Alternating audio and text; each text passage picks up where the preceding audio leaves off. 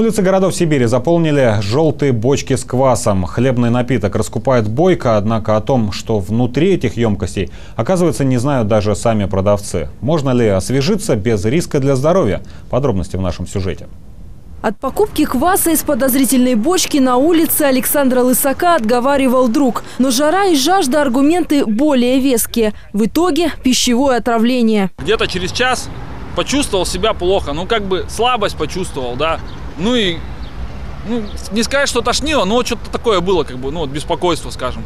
Как только температура на улице повышается, растут и очереди у бочек. Документов и санкнижек у продавцов никто не требует, а, возможно, стоило бы. Скажите, пожалуйста, у вас есть санитарная книжка в наличии? Да, конечно. Можете ее предъявить? Она у начальства. А начальство ваше где сейчас? На работе, на базе у себя. Да, все есть. А можете санитарную книжку? У меня с собой нету дома. Объясняется такая забывчивость просто. При поиске продавцов улыбчивость и честность, судя по объявлениям, ценится выше, чем санитарная книжка. Ну, как бы можно быть санитарки. А никаких там проблем не будет, вас же проверяют как-то. Нет, ну, естественно, что нас проверяют, но как бы нам проще штраф заплатить, чем найти продавцов на класс с санитарными книжками. Даже если медкнижка на месте, ответить, кто производитель и как квас попал к ним, продавцы не могут. Стерилизуется ли вообще э, как-то эта тара? Ну, конечно, наверное. Все делается.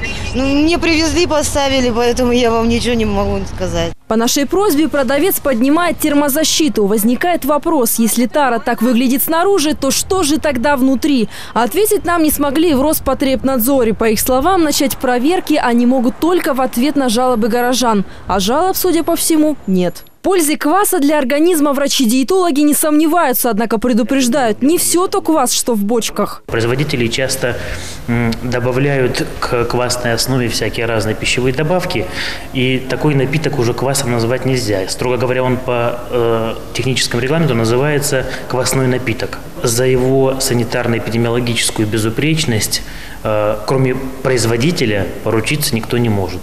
А вообще завести такую торговую точку может каждый, если выиграет в конкурсе, организованном администрацией конкретного округа Омска.